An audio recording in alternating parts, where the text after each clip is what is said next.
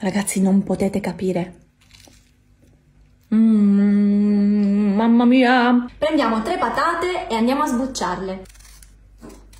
Diana, ho notato che usi il coltello per sbucciare le patate, come eh mai? sì, io sono vecchio stampo, mi trovo meglio con il coltello. E voi invece ragazzi vi trovate meglio col coltello o col pelapatate? Scrivetecelo qui sotto. Una volta sbucciate le taglio a spicchi e le metto in una pentola con acqua. E adesso ci spostiamo ai fornelli perché dobbiamo far bollire queste patate. Perfetto, ci siamo, le patate sono cotte e quindi adesso andiamo a scolarle. Ora prendo 200 g di carote e le taglio a cubetti molto piccoli. Ora facciamo la stessa cosa anche con una zucchina.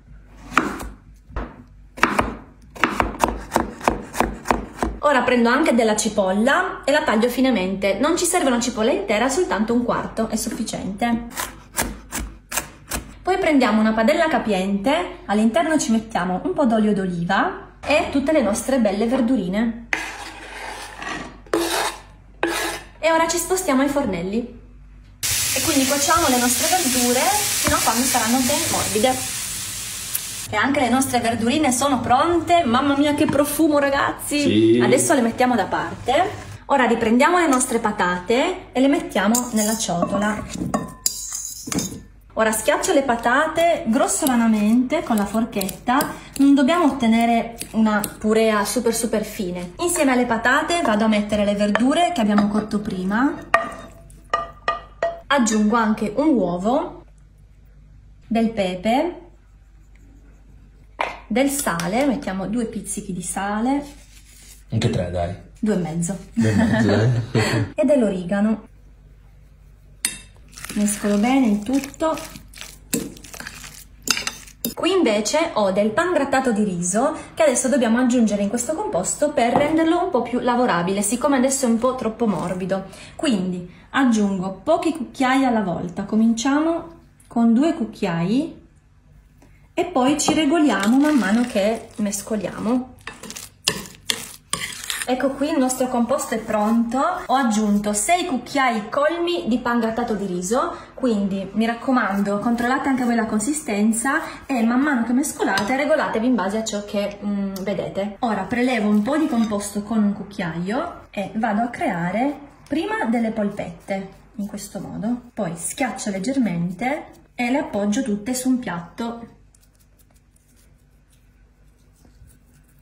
Quante belle cose ragazzi. Adesso la parte bella. Andremo a... cuocerle, ma prima un altro passaggio dobbiamo fare. Prendiamo ogni crocchetta e la passiamo nel pan grattato. Ripetiamo, noi usiamo quello di riso che è senza glutine ovviamente. Esatto, bravissimo. Le rimettiamo un attimo sul piatto. E ragazzi, guardate un po', andremo a cuocerle nella friggitrice ad aria. Quindi preriscaldo a 200 gradi.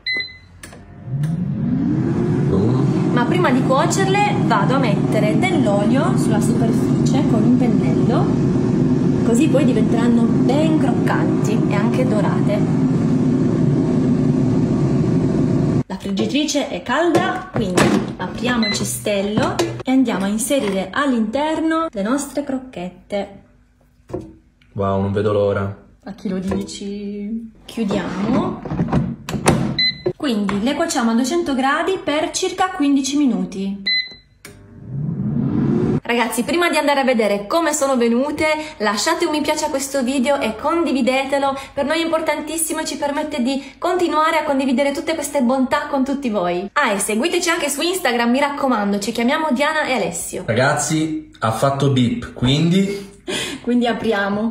vediamo un po'. Ragazzi! Mamma mia. No, Diana, queste sono spettacolari. Mamma mia. No, vabbè. Prova a aprirne una, Diana. Incredibile, mi sto bruciando! Ragazzi, ho un'acquolina. Queste rigorosamente con la maionese fatta in casa. Guardate che Ragazzi. spettacolo. È qualcosa di incredibile. Troppo buone. Wow!